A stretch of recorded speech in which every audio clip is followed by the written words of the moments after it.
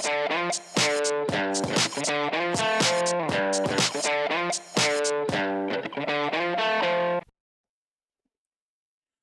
everybody.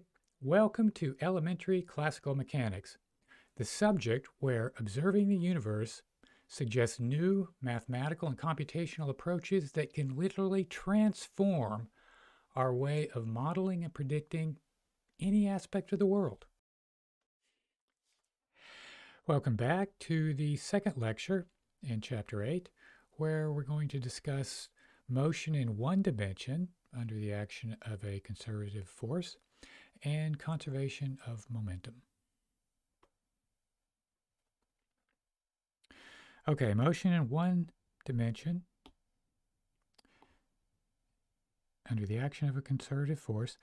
The variable we're going to use to indicate one dimension will be s, and we've discussed that earlier when we were talking about uh, Newton's second law. So the equations are m, second derivative of s with respect to t twice equals minus the gradient of the potential energy function, which is just a function of s, and we have initial conditions and initial initial position and initial velocities at a given time.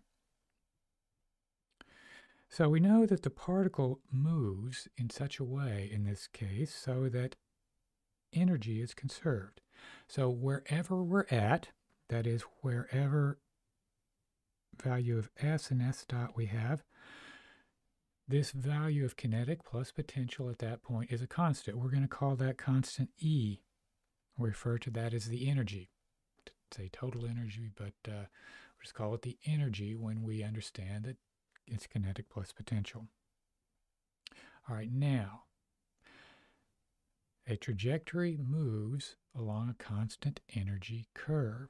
So what we could do for this, do,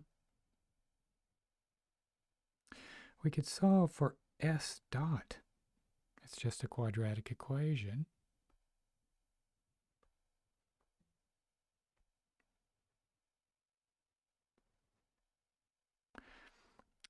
And then we have a plus or minus sign whenever we take a square root, and we need to carefully consider which sign to take, and we'll learn about that a little later.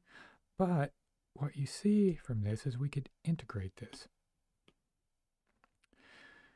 from the initial position to some arbitrary position s of t, which is the solution, and the t integral is here. So if we could do this integral on the left-hand side, the integral on the right-hand side is trivial. And then somehow, with the expression we got, if we could solve for s of t alone, then we could manipulate this, invert it in some way, and get the solution.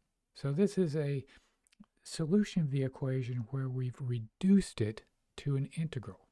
Now, can we do the integral for any value of potential energy?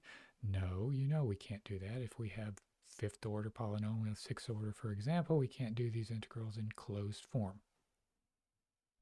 Also, we need to make sure e minus v of s is always positive or the square root wouldn't make any sense.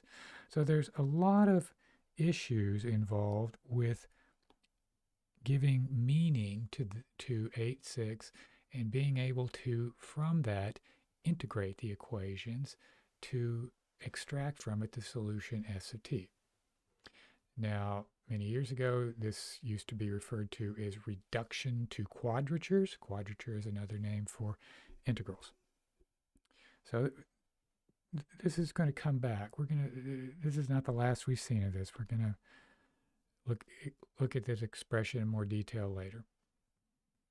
Okay, conservation of momentum. Conservation means conditions under which the momentum is conserved. It does not change in time, in other words. So remember Newton's second law for momentum. The force is dp dt. We're, we're looking for situations where p does not change in time. p is a vector. Energy is a scalar. p is a vector. Well, that would be the case if F were zero. That is, the total forces, or the net force, as it's often said, acting on the particle of mass m is zero. In this case, we would have dp dt equals 0. In other words, p is constant in time. p is, is a vector, so its magnitude and direction are constant in time.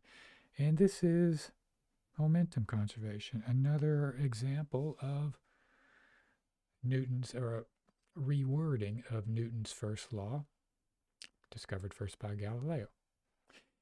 In any case, this is a good place to stop now. And in the next lecture, we're going to look at two examples that we've done already and use energy conservation in order to solve them in some sense. So that's all for now. See you next time. Bye.